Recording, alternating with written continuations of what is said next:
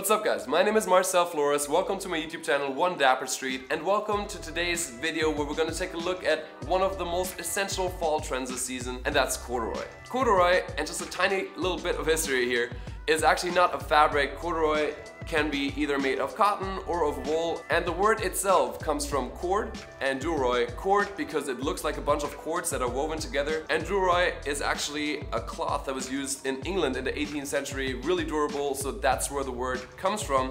It's a very warm and a very durable fabric, so we've seen it in pants, jackets, and shirts. But since it's trending, we've seen it in a lot more silhouettes, so let's take a look at those today. Let's get started with a classic though, a trucker jacket. I think this is one of the easiest ways to integrate that into your wardrobe. This tan-colored corduroy jacket is from H&M really affordable and I think it's a really nice piece to have in your closet. You can use it as a top layer, you can use it as a mid layer and really have fun combining it. I think just the structure that this corduroy fabric offers is just a nice aesthetic addition to just, you know, having like a plain jacket. It adds a little bit of surface interest, which I always think is a nice thing to play with. If you wanna invest in a piece like this, but you're a little too worried that it might get too cold wherever you are, or you want it for the later parts of the fall, this jacket is also from H&M. It is lined in a faux shearling fabric. It's virtually the same thing, very similar fit, a tiny bit relaxed, but still slim enough to rock in a modern way. But the color here is more on the side of a forest green. You'll see corduroy often used with earth tones just because traditionally it was used that way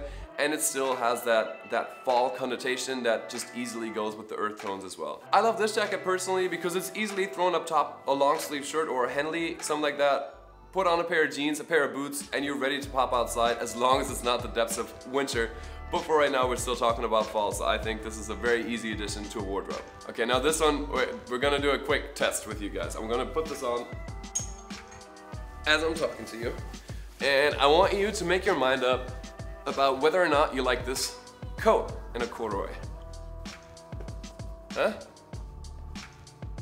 Huh? You like it? Fits good? Looks nice? If you just in your head answered yes to this question, you can from now on, never say that men shouldn't wear women's clothes.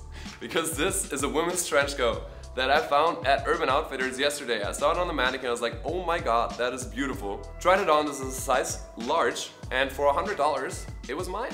Uh, so now I have a women's trench coat in corduroy, but I figured it was perfect to include in today's video for you guys just to show you another way that you can integrate corduroy into your wardrobe. Whether or not you have worn women's clothing is at this point irrelevant. I think if you like this, make sure to check it out on the website. All the links for the pieces that I'm showing you guys today, as always, are down below. What I love about this for one is the color because once again we're in that earth tone range and it's a really nice olive green. Then we have these natural buttons which are a nice subtle contrast and overall, I really like the silhouette. In women's wear, you have a little bit more of a slim silhouette, which just works out perfectly for me. It's got a nice little taper through the waist, so I really like the way this trench coat looks, especially when you wear it open. Next up, and another classic I think, is a corduroy shirt. This one is from Uniqlo. You've hopefully seen and or heard me talk about the corduroy selection at Uniqlo. I think it's impeccable.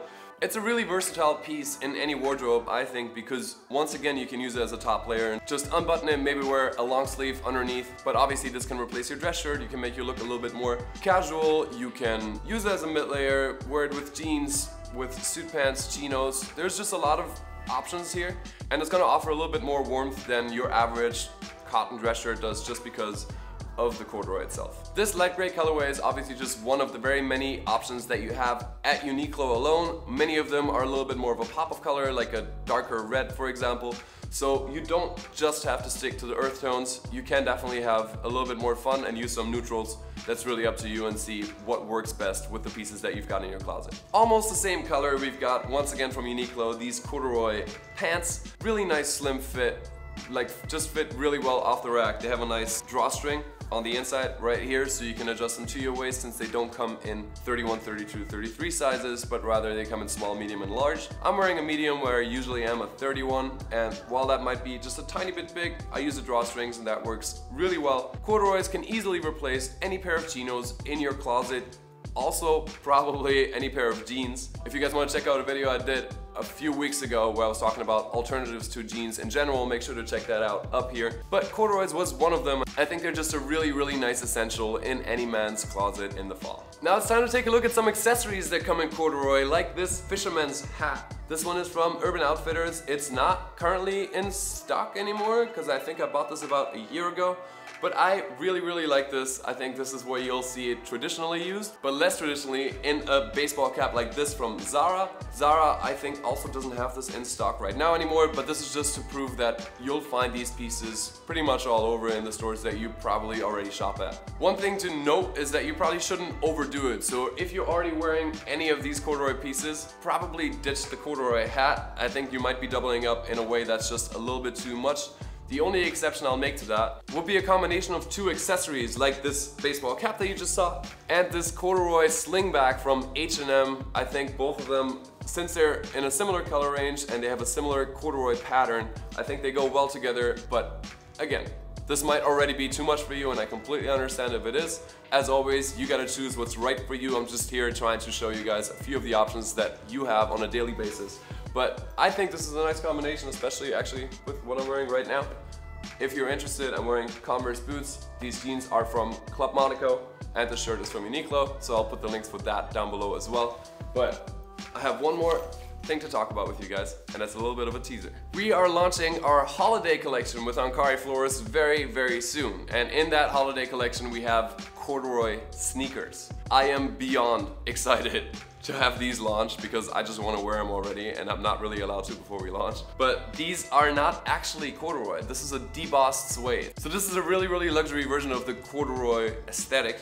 And we have them in this colorway, in this silhouette, our classic Saturday sneakers. I wanted to show you guys these. But we also make them in our Sunday sneaker in this navy color. So like I said, they're not available yet, but I wanted to show you guys because obviously it went well with today's video and you can shop them very soon. As of November 1st, they'll be available for sale. So that's just a little something to get excited about. That's it from me guys. Thank you so much for watching today. I hope. Let's take a look at some of the comments from a very particular video today and that is how to appear smarter and be more confident. There's a few things I want to say about that video, so let me find a few comments, let's read those out loud, and then let's uh, explore what I want to say to that. Because um, for me, that title in its in itself. I think it was misunderstood by some of you a little bit. For one, I'm never gonna suggest you just try to look smarter and not actually try to become a more intelligent, more well-rounded, more culturally open person. For me, that's more so, what is your first impression? Like, somebody will look at you and will make somewhat of a snap judgment. That's sadly a matter of fact with our society. So what I was alluding to is more so how you can make that impression the smartest it can be.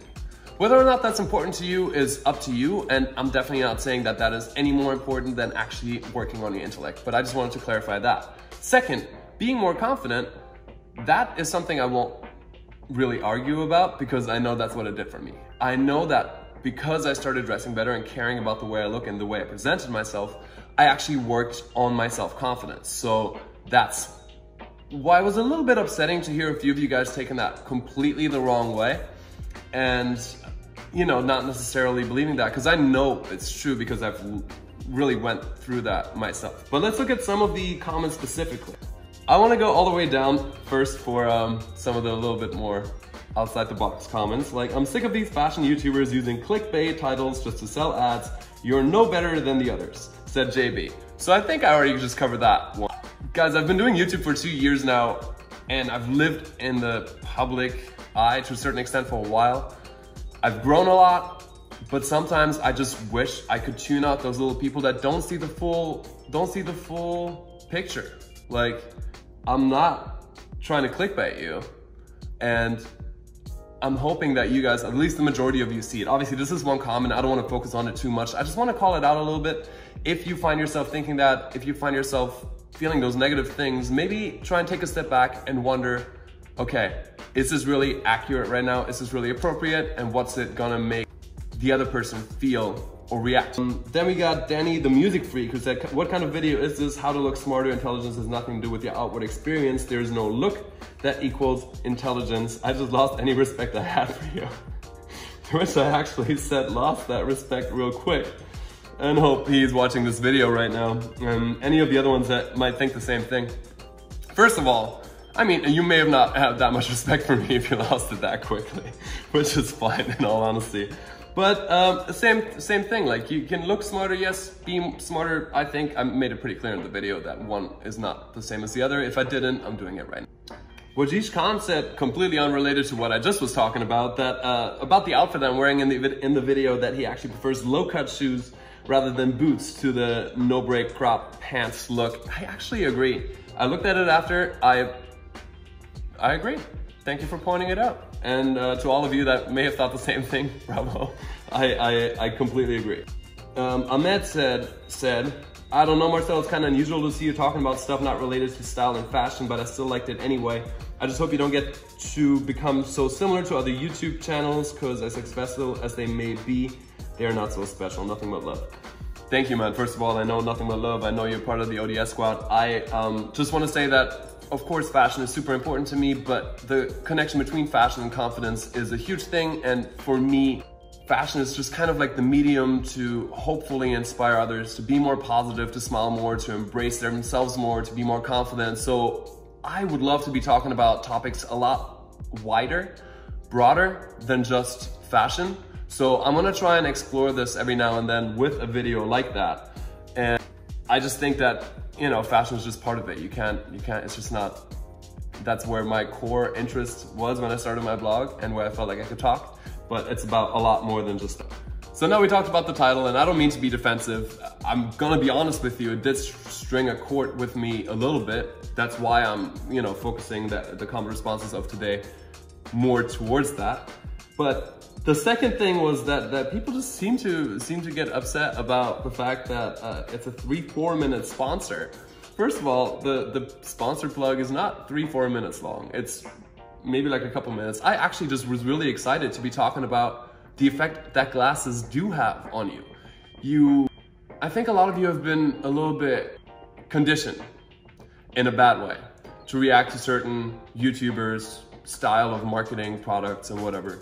I would urge you to just take a step back and really try and see that, again, a little bit more objectively. Am I really doing it just to get paid? Am I not really believing in the product? Am I really spending 40% of the time of the video on the product? I believe in all cases, it's no. One, I don't do it just to get paid. Do I have to get paid? Absolutely. I don't know if you guys realize how much time, effort, and money it is to uphold a YouTube channel that's heavy in fashion.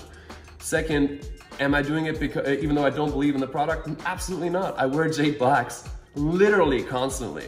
Whether it's the blue light glasses or the sunglasses, I absolutely love the brand. So why shouldn't I spend a better half of the video or better part of the video on it? And reality is I really didn't. I didn't talk about the product. I more so talked about wearing glasses, so I hope you can look past it.